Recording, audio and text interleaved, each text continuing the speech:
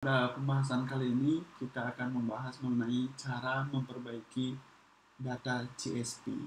Nah, sekarang nih kita punya data CSP setelah dibuka dengan Excel jadi bisa kayak gini. Tapi ini masih ada polanya ya.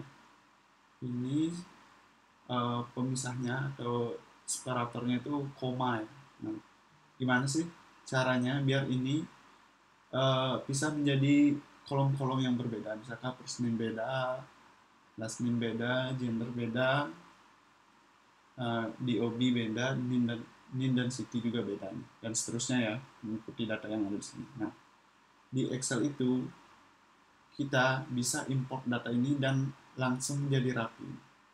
Misalkan ya saya buka di file lainnya. Kita masuk ke menu data kemudian klik get data. Nah, ini kita pilih from text. Oke. Sekarang kita cari file CSV-nya. Ini.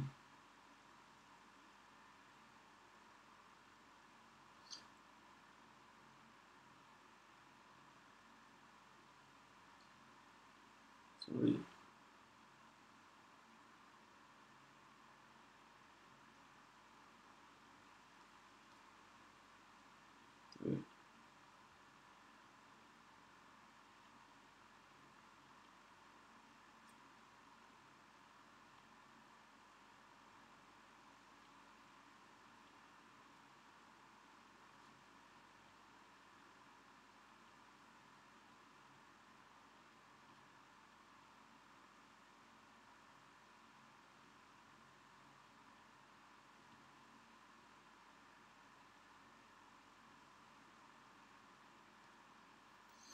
Nah, tadi ada masalah ya sedikit ya.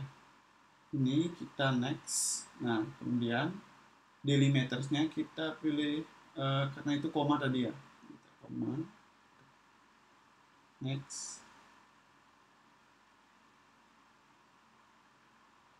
Nah, kalian juga bisa nih memperbaiki nih masing-masing kolom itu ya berdasarkan tipe datanya. Misalkan ini ya, coba jadi date Yes.